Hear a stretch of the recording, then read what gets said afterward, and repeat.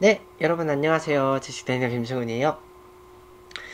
드디어 2018-2019 UEFA 챔피언스 리그 8강전 대진표가 작성이 됐어요. 일단은 레알 마드리드를 꺾고 올라오는 이변을 일으킨 네덜란드의 아약스 암스테르담이 이탈리아의 유벤투스하고 8강에서 이제 홈앤드어웨이 대진을 펼치고요. 그리고 이제 잉글랜드의 리버풀이 이제 지난 대회 준우승이었죠. 지난 시즌 챔스 준우승이었던 리버풀은 이제 디펜딩 챔피언 없어요.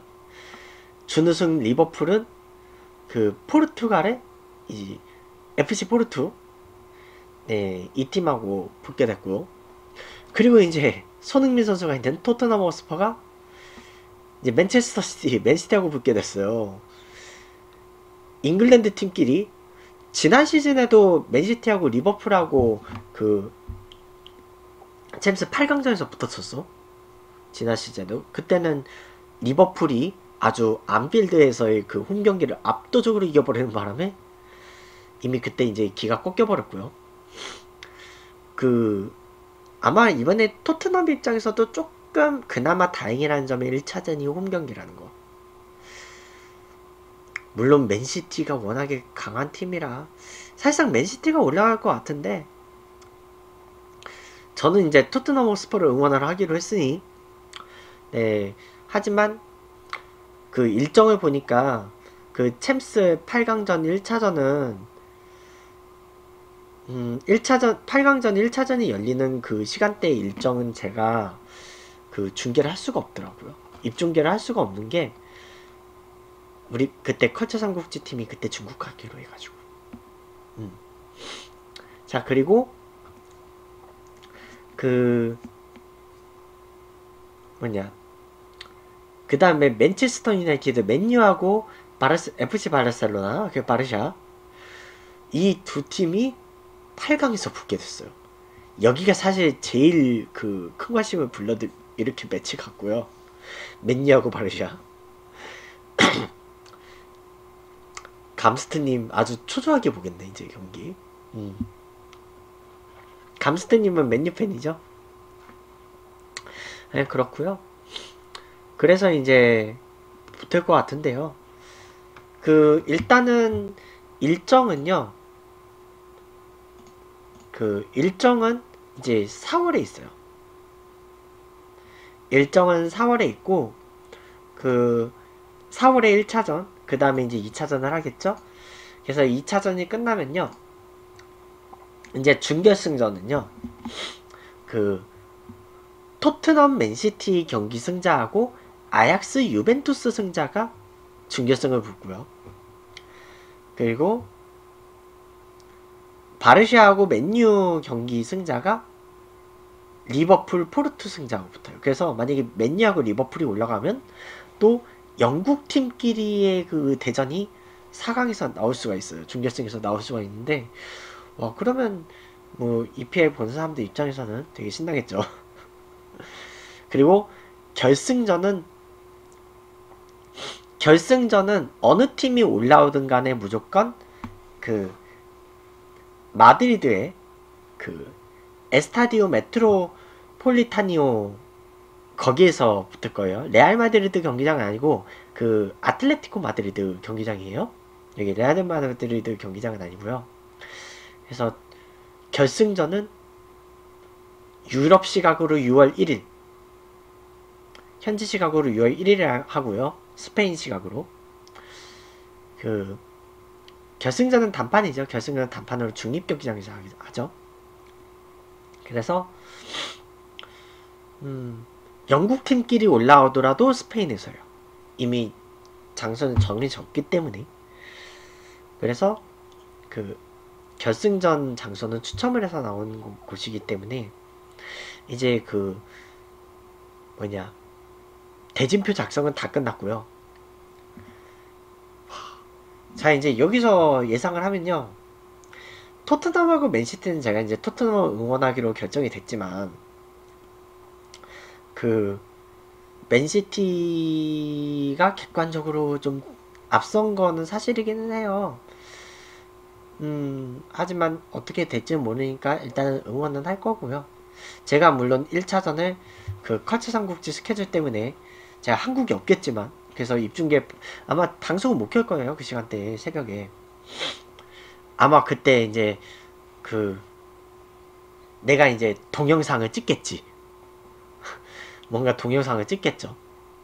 음. 그리고 그 뭐냐 아약스하고 유벤투스는 아약스가 왠지 레알을 이기고 올라왔지만 그건 이변이라고 보거든요. 그건 이변이라고 보고 유벤이 이길 것 같고요. 유벤이 이길 것 같고 바르샤하고 맨유 여기가 좀 재밌을 것 같아 진짜 솔직히. 그리고 리버풀하고 포르트 여기는 너무 압도적으로 리버풀이 우세할 것 같고요. 전력차가 좀 있어. 음, 전력차가 좀 있는 팀의 매치고요. 음, 어쨌든 그 이렇게 8강전 대진이 결정이 됐기 때문에 역시 8강전 역시 홈앤드 어웨이를, 치, 어웨이를 치르고 준결승 역시 홈앤드 어웨이로 치러요. 결승만 단판이에요. 결승만 단판이고요. 음, 자, 이 팀들이 과연 이제 한 달 전에 발표가 됐는데 한 달 동안 어떻게 준비를 해서 8강전 그 대결을 할지 한번 이제 지켜보도록 할게요. 그리고 이번 주말에는요.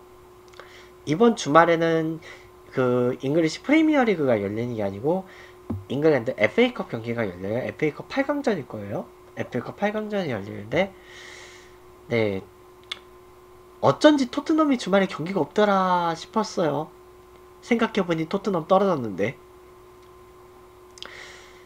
그래서 이제 그 FA컵 대진이 있는데 그 뭐냐 잉글랜드 FA컵 대진이 그 뭐냐 일단은 오늘 저녁에 제가 그 와포드하고 크리스탈 팰리스의 그 FA컵 8강전 경기는 제가 틀 수 있을지는 잘 모르겠어요. 그리고 그 다음에 그 스완지 시티 스완지 시티하고 맨시티 경기 중계할 거고요. 그리고 울버햄튼하고 맨유 경기 중계할 거고요.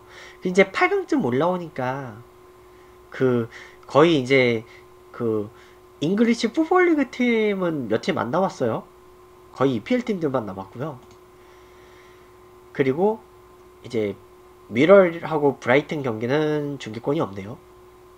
음, 중계권이 없고 그 그리고 그 EPL 경기는 또 바로 그 FA컵 떨어진 팀들끼리의 경기가 있죠. 그 뭐냐 0시에 레스터시티 하고 뉴캐슬이 각각 레스터시티는 번리하고 뉴캐슬은 본머스하고 경기를 하고 리버풀 경기가 내일 저녁에 중계권이 없네요. 대신에 아 첼시하고 에버튼 경기 중계할 수 있네요. 어, 뭐 어쨌든 뭐 주말에도 보통 저는 두세 경기씩 중계하니까 네 그 중계 방송 많이 봐주시고요. 그리고 이제 제가 그 올해부터 그 메이저리그하고 KBO리그하고 EPL을 제가 응원팀을 정했잖아요. 메이저리그는 다저스, 그 KBO리그는 기아 타이거즈, 그리고 EPL은 이제 토트넘 핫스퍼. 그래가지고 이 세 팀 경기를 중심으로 경기를 하겠지만 제가 다른 팀 경기도 중계를 한다 그랬어요. 다른 팀들도 중계는 할 거고요. 그리고 음 중계는 하는데 이제 그 일단은 KBO 리그 시범 경기를 중계 저작권이 없으니까 그리고 제가 여기서 공지를 할게요. 그 뭐냐 다음 주 화요일이죠. 3월 19일 화요일에 제가 고척 스카이돔으로 기아 타이거즈의 시범 경기 원정 경기를 직관해 갈 거예요. 13시 경기인데 아마 좀 빨리 도착하게 되면 아마 그냥 빨리 도착해서 좀 이제 간단하게 같이 식사를 하고요.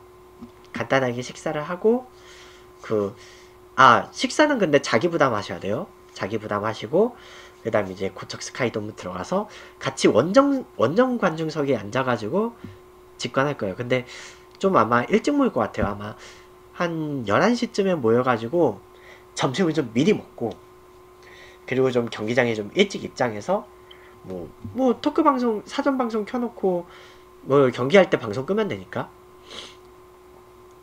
아니면 방송은 안 켤 수도 있고 어쨌든 제가 방송 아프리카 TV 방송국에는 공지를 올릴 거예요. 그 유튜브 시청자분들 분은 모를 수도 있으니까 일단 뭐 그렇게 하는데 일단은 올려는 드리고 음 일단은 계속 경기를 같이 볼 거고요. 경기 끝난 다음에 뭐 경기 중에 그 경기장에서 그냥 그 음료수 사서 한 잔씩 마실 수도 있고 어차피 방송 안 켜니까 뭐 맥주 마셔도 되겠죠.